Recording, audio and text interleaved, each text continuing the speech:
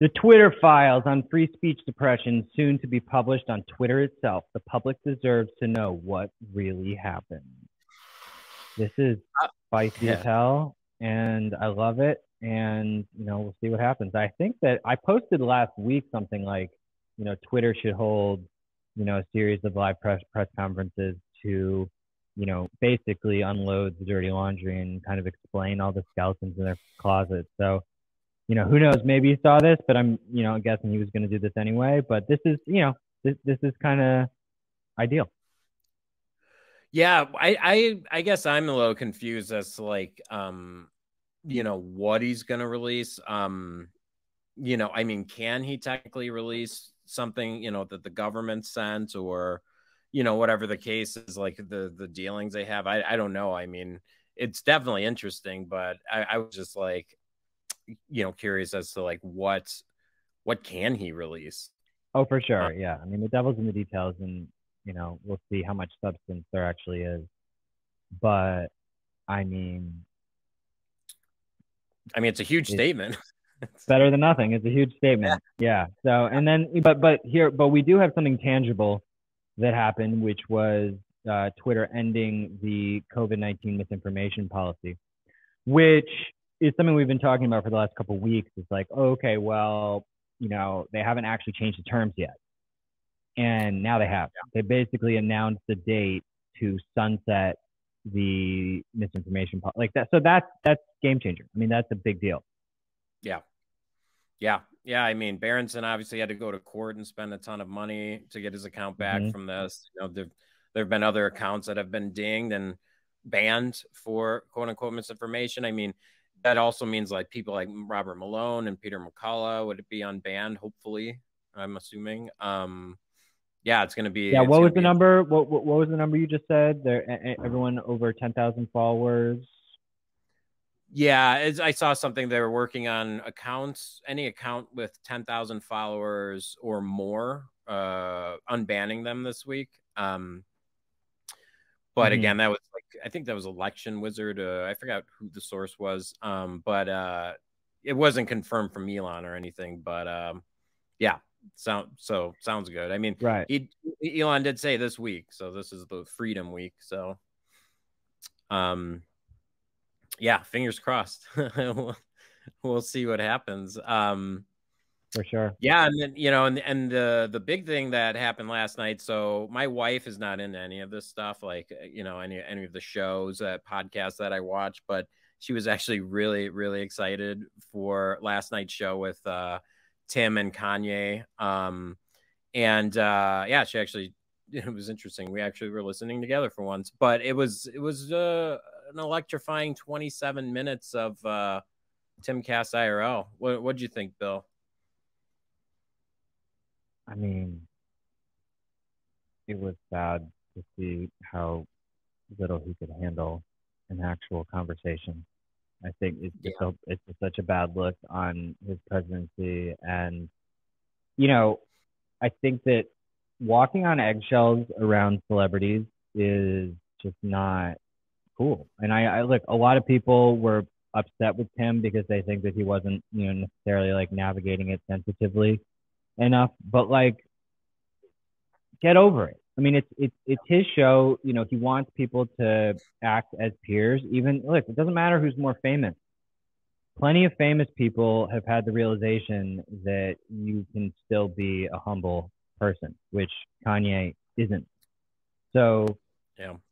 you know, the fact that like him art and style wasn't vibing with Kanye, it's like that's Kanye's loss. He had a huge opportunity with a huge audience, and it's just not presidential at all. So, um, yeah, I don't know what else Yeah, to I- say about it. I, I Yeah, I agree. I it was interesting, like because Kanye was complaining during the interview that he wasn't getting a chance to speak, but he actually spoke for like the majority of the time. Really, like Tim and his team really only got a couple questions in um before he before he left. And you know, there are some people out there that think that maybe this was a setup, maybe Milo and Fuentes and, and Kanye had the strategy going in that they were gonna walk out. Um, there's that going around. Um there's some people that are saying, oh, they're trying to make Trump look bad, which I don't know, you know, if I if I buy into that one as much, but um, it was definitely a, a, huge show, um, but it it lends to the credibility and the and the need for a conversation.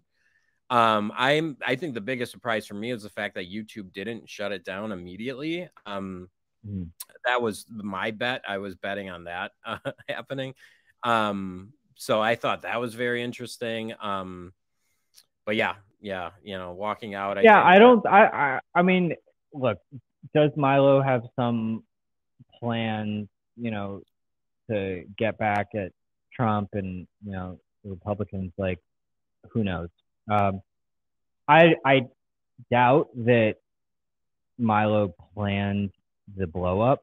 It definitely seemed like that was in Kanye's control yeah. and that he just didn't want to be there. Like just like all these little threats. Oh, I'm gonna leave if this is another yeah. Lex Fridman. Like, dude, that was you know one of the better podcasts you've done, and it wasn't even that good because you were still kind of a baby. Um, but I, I, I would love I would love to see a humble Kanye because you know I I am a fan of a lot of Kanye stuff, and it's just it's sad. It's like because he's giving he's not giving anyone anything to hang on to. He's just kind of degrading into identity politics and tribes and you know their whole point about oh well it's okay to say white people but it's not okay to you know uh, talk about Jews like that is not an intellectually stimulating point and it's also just like this whole eye for an eye mentality. Mm-hmm. Like, oh, you do it, so I should do it. Well, how about no one does it? And how about right. you just talk about issues and, you know, convince people to hop on board with you?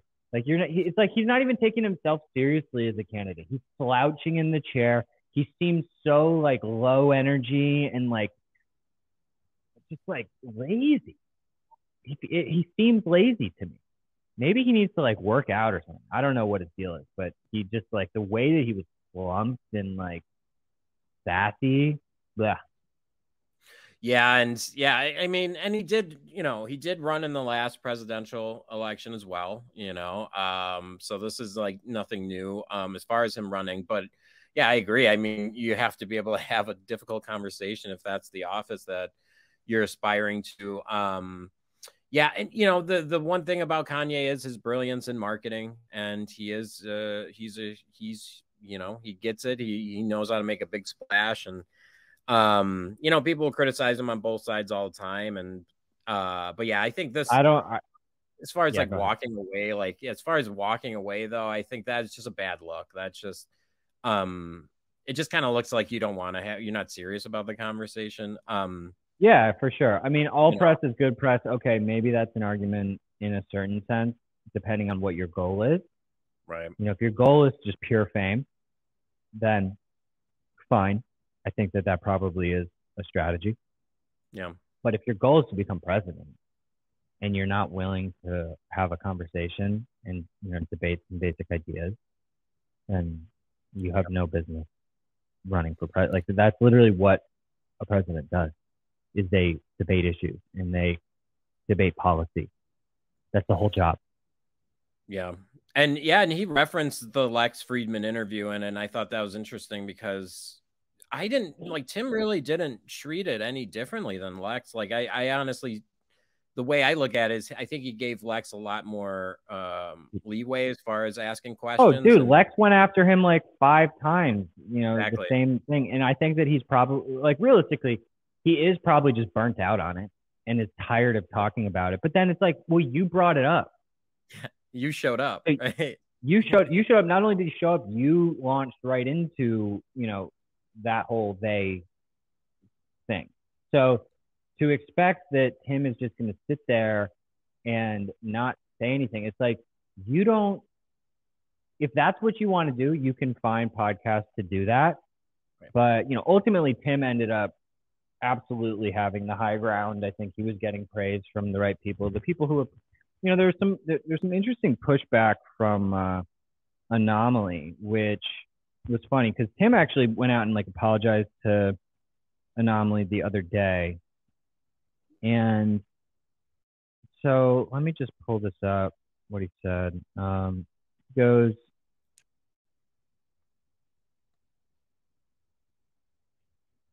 Uh, where is it? I don't want to scroll through this. Um, he goes. Kanye West brought up the new working definition of anti-Semitism that even Trump and DeSantis have passed into law.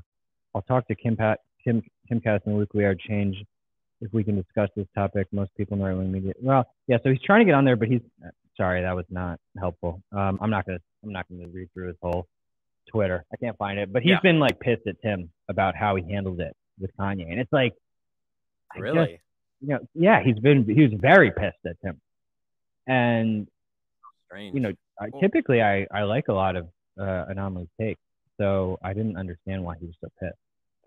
Well, I, but, I was I was yeah, I was say I was hearing that yesterday too. Like before they went live, I heard some people that typically argue for you know the free speech argument, not you know a little uneasy about that. But um, I think Tim absolutely did. I, you know the people that thought that way. I'm just like thinking back to the Vijaya interview and uh, you know on Joe Rogan um, with Tim. Like he's not going to back down. He's he's going to ask tough questions. Like I had all the faith in the world that he was. You know what I mean? Like he wasn't. He was. Right. It wasn't going to be a puff piece, you know. Um, all right, cool. Well, I gotta end early today, but if you could just go to my page, I just want to end on a on a funny note with a meme from Rothmus, sure. Um, which I think Kanye needs to take more into consideration. Um, oh, I'll find you, Bill. Right there. Oh, you already scrolled by. Scroll oh, by. Right there. There you go. Um, so scroll down and keep going, keep going, keep going, keep going. There they are on the plane. All right, Ricky Gervais. Words to live by, Kanye. You found it offensive. I found it funny. That's why I'm happier than you. And it's just like that's the attitude that Kanye needs. He needs to stop getting so triggered. It's like, yeah. dude, you're apparently like I thought you were starting to speak out against all of the political correct stuff, and now you just storm out of any conversation. Like, get it together. Follow follow yeah. Ricky Gervais. Triggered, triggered, triggered is the right word. Yeah, it, it he did mm-hmm. seem triggered. He even used the word woke at one point. Um, yeah. so I agree. Cool, man. Um, anything else you want to touch on? Nope. Just uh, check us out later on the week. Uh, we got some cool guests coming up. So yeah, Th- thanks yeah, for tuning everyone. in, guys.